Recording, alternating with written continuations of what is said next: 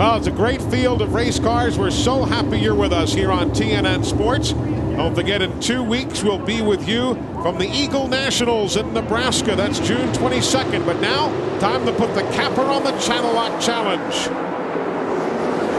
Oh, man, look at that. Guys slip, slip, slapping their tanks back there, the belt banging wheels. Here's the challenge up front Swindell and Sheppard. Sammy moving down, going into three to keep Sheppard from putting a slide job on him. This is 30 laps, and we're working lap number two. The shot off the back of the car there, but generally it's not that. Now, there, there are times it is bad, but I don't think tonight it's uh, too bad for these drivers.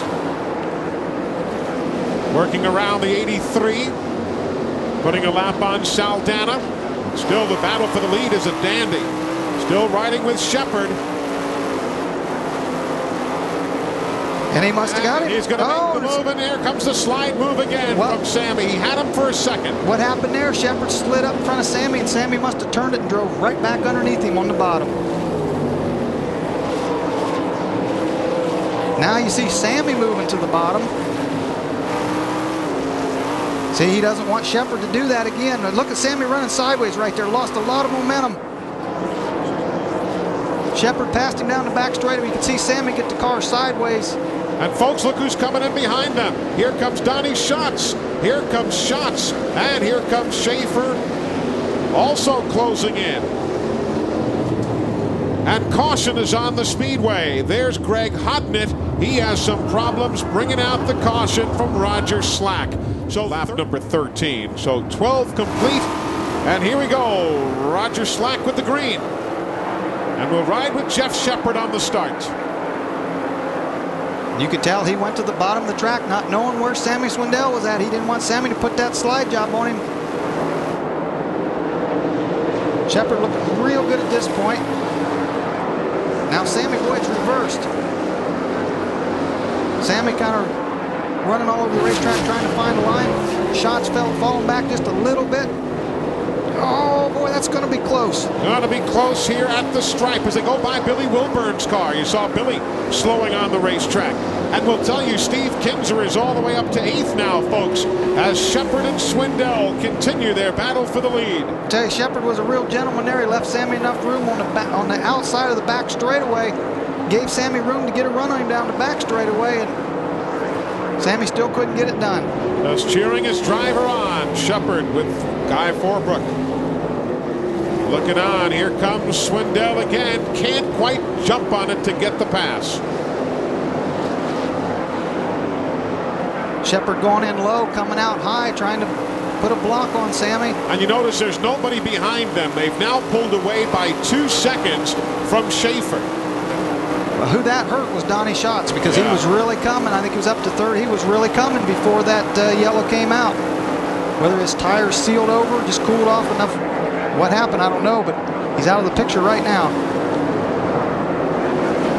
One of the unique factors here at Bristol, this is such a big racetrack as far as height is concerned. The lights are so high that it really amplifies the dust that's flying around here. As you see the battle for the lead, still Sheppard and Swindell. Man, they were so close coming out of that corner. Closing in on Hodnett and others as they've caught the tail end of the field yet again. 10 laps to go in the A main. For those new to the sport, these open wheel cars, if they just touch wheels at these speeds, it's disastrous. These cars will start flipping. Running up over each other's wheels is not the thing you want to do. No, they'll they'll come down somewhere near Kingsport if they touch. Oh boy, Sheppard doesn't want to do that too much. He's Nope. sliding up across. He scrubbed Here a bunch comes of. Sammy, and Swindell slides for the lead. But coming right back is Sheppard to the inside, not enough. Sheppard went in low and sliding up across the, tr- the banking like that, killed his momentum, and Sammy was able to get by. Sheppard from Maryland, Swindell from right here in Tennessee. Oh man, they about hit the again. lanes. Just about touching again with five to go. Yeah, boy, he had to really get on the brakes there. Sheppard really had to get on the brakes. Sammy come up in beside him, and you could see the car drop. The nose of the drop on the front end. He had to tap, stab the brake a little bit, getting into the corner. And folks, though he's not going to win it, Steve Kinser is up to fourth. He's running behind these guys by a goodly distance, but we just need to keep you up to date on that. He's now in fourth. This was that heavyweight bout that we promised when we signed on the air way back at 9 o'clock Eastern Time.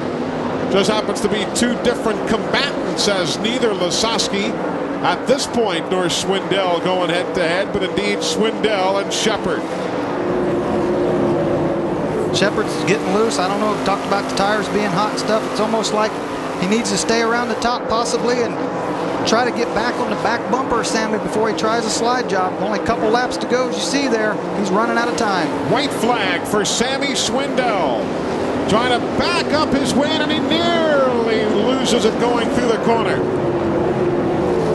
With the Channellock colors emblazoned on his race car. He won here last year. He backs it up in 2001 celebration on the Channellock ring just a moment. What a race here at the Bristol Motor Speedway from Cordova, Tennessee. Sammy Swindell pulls down the win. And I'm sure Sammy's thinking right now, take that, everybody. Uh-huh. That's Sam Swindell, his dad right there on Sammy's left. His wife, Amy. ah, there you go. That's about as much emotion you know, as I've ever seen out of Sammy Swindell. Just going to say that. You don't see that kind of emotion out of Sammy Swindell. Right now, we go downstairs, victory lane. Dave Argabright with Sammy Swindell. Sammy, outstanding win, hard fought win. You know, you come here two years in a row and you win. Just a tinge of controversy. Is that an extra motivation for you? No, we can do without that. You know, they kind of bring that on. You know, but uh, it doesn't matter. We're sitting here at the end with this uh, Channellock fan steel stealth, you know, so. Um, had a great run and uh, that was a lot of fun. You know, we rode motorcycles today with uh, Jeff Sheppard through the mountains, and uh, we were on the Boss Hoss bikes, and he had to run the Screaming Eagle, so he had to run last all day. So uh, need to let him lead a little bit, but uh, we just want to be out front there at the end, and uh, the whole Channellock team did a great job, and uh, we were able to pull it off again. You know, be there at the end you know, it's a great win, and I know how excited you are. But when you've spent the day with a friend like that and you beat him this close of a race, does your heart go out to him just a little bit? No, no, that was fun. As you know, if you beat me, that'd have been fine. But uh, you know, when you when you got respect and you can race with somebody that close, that long, uh, that that's a lot of fun. So uh, uh we'll get back out here in a couple weeks, and maybe I'll let him run out front on the bike for a bit. But uh, we had a great time. It was a lot of fun, and um, everything went good. The whole crew, everybody did a great job. The had an awesome racetrack, and uh, it's a great time. He's got a second place finisher Jeff Sheppard. Uh, Jeff, that was a heck of a race. Now, are you content with this, or no, I, I, know you want to be out there? Absolutely not. I mean, it was just too close. I mean, it was a, it was a lot of fun racing, but uh, I didn't win. I just understood I didn't win. With about three or four laps to go in turns one and two, you got real loose, drifted up the track. Was that the difference? Well, yeah. I mean, we got we got close a whole bunch of times. It's a lot of fun racing like that, not touching. I mean, he kind of, you know, kind of put a little move on me getting into one, and it just took the air off the front of my car and made me slide high. And this this deal here, you can draft here.